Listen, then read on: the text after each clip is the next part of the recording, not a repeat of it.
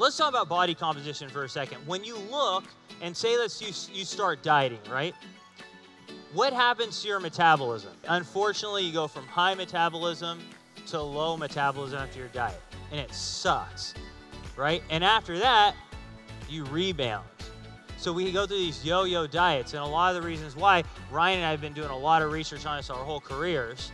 But why do we yo-yo? What happens to our metabolism?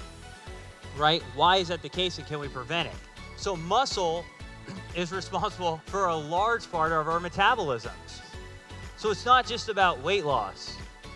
It's about the composition of that fat loss. Ketones spare muscle. So the way the first study we did on this was we basically took people and we put them on a normal ketogenic diet where they had we were keto from Monday all the way through the whole week and then we put another group on a cyclic ketogenic diet. That's where basically you eat ketogenic diet Monday through Friday, and then on the weekends you carb up. And we looked at blood ketones. So one group had high ketone levels, one group had low ketone levels. They both lost the same amount of weight. But is weight the only thing that matters? No. So let's look at how much fat they lost. The ketogenic diet lost basically all fat and the group that ate carbs on the weekends that had low ketone levels lost only a little fat. What's that mean they lost a lot of? Muscle. So now, back here when we did this study, really ketones weren't even out. This was like pre-Pruvit. Now, fortunately now, we can actually sustain ketone levels throughout our whole diet, even when we're in a stressful situation. That's very important to maintaining muscle mass. So we looked at the molecular level. Like we actually took muscle and look what happened when you gave ketones, uh, or you gave like moderate ketones or higher ketones, where you took like two to three packs equivalent a day. And this was showing basically when people first start a ketogenic diet, because that's when it's hardest, right? And so we looked at basically the ability to increase protein synthesis in the muscle. It's the building process of muscle.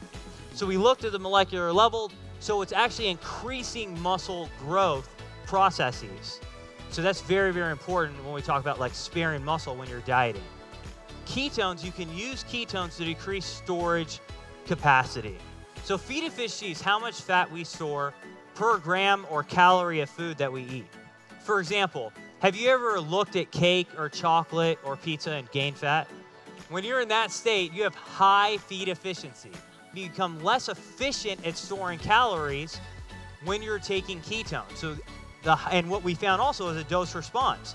The higher the ketone levels, the greater this effect was. The thing about brown fat is that it's like a, it's, it's basically like a furnace.